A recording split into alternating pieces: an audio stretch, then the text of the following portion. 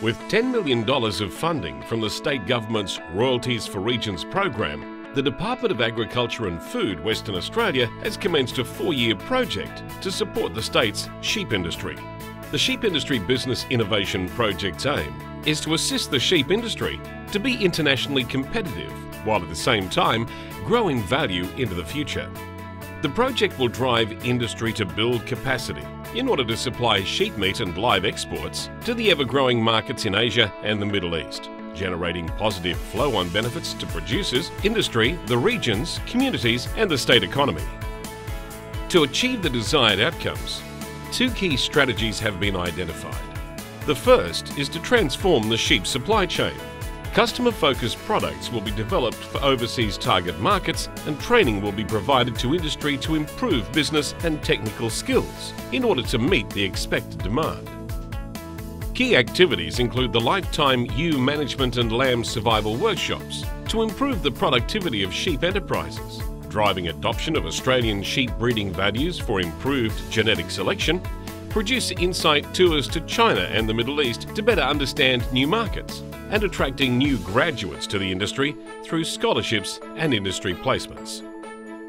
The second strategy is to establish a sheep business centre, utilising and upgrading DAFWA's existing Katanning research facility and Katanning office. Together with the appointment of specialist staff, it will establish itself as the centre for business and technical innovation for the WA sheep industry.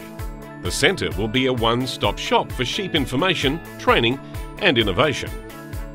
Key activities within this component for the project include identifying genetic markers for important meat quality traits through a dedicated resource flock, investigating labour-saving flock management technologies, and driving the implementation of the WA Sheep Industry Strategic Plan 2025 Plus, which aims to double the industry's annual value of production by the year 2025.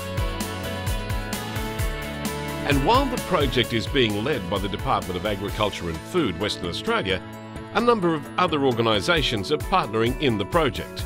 Meat and Livestock Australia and the Sheep Cooperative Research Centre are co-investing in the project and the WA Sheep Industry Leadership Council will provide direction as part of a stakeholder reference group. Our collaborative vision for the sheep industry is to transform from a dependence on open market sourcing, where participants work in isolation, to one where there are dedicated value chains, with participants working together, increasing the volume and quality of sheep produced for the new markets, with solid returns along the chain.